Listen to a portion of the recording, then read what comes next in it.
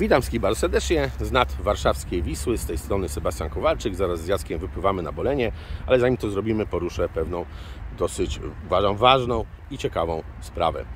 Zadzwonił do mnie jeden z wędkarzy e, z problemem. Problem jest taki, że mają e, obok miejsca zamieszkania fajną wodę e, przepływową, mm, którą dzierżawi Urząd Miasta i zabrania im wędkowania.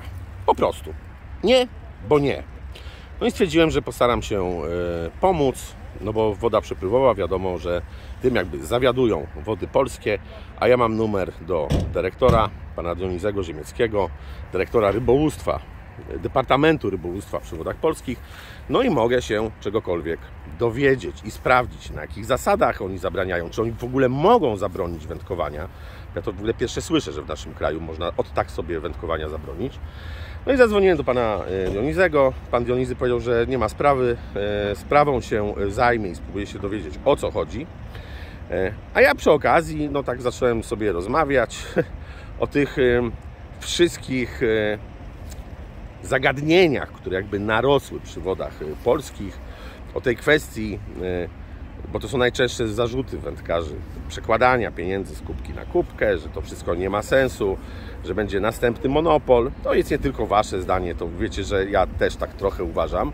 I pan Dionizy powiedział, że więc jak trzeba się spotkać, porozmawiać, pewne wątpliwości rozwiać.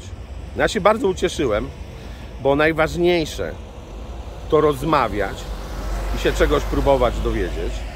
Tak więc, moi drodzy, ja swoje pytania oczywiście ułożę, nie ma sprawy, ale jest prośba też do Was.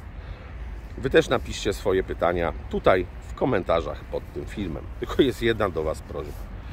Piszcie kulturalnie, bez wulgaryzmów, bo ja już Was dobrze znam. Ja wiem, że potrafi Was ponieść, że macie ciężkie pióro. Nie, nie, nie. Wszystkie pytania, y, które nie będą napisane w kulturalny sposób, będą po prostu natychmiast przeze mnie usuwane. Rozmawiamy kulturalnie, to jest jakby podstawa. Tak więc y, piszcie komentarze, może czegoś się dowiemy. Dowiemy się, czy te nasze piękne polskie wody będą w końcu rybne, bo mamy tych wód. Piękne rzeki, piękne zaporówki, szlak Wielkich Jezior Mazurskich. To fantastyczne wody. tam powinno kipieć od ryb. Kipieć. A jakoś nie kipi.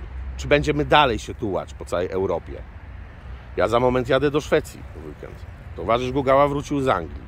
Wielu z Was też cały czas jeździ po Europie i wydaje pieniądze nie tu w Polsce, tylko tam. Po co? Dlaczego? Przecież wiecie, że to Szwedzi, to Duńczycy, Niemcy powinni tutaj do nas przyjeżdżać, ponieważ nasze wody są wspaniałe, żyzne.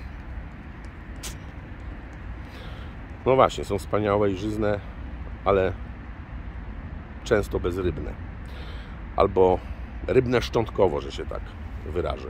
Tak więc, moi kochani, piszcie komentarze. Ja wrócę ze Szwecji i za jakieś dwa tygodnie spotkam się z panem Dionizem Ziemieckim, dyrektorem Departamentu Rybołówstwa przy Wodach Polskich i dowiem się, czy coś da się w tej sprawie zrobić, jakie są plany.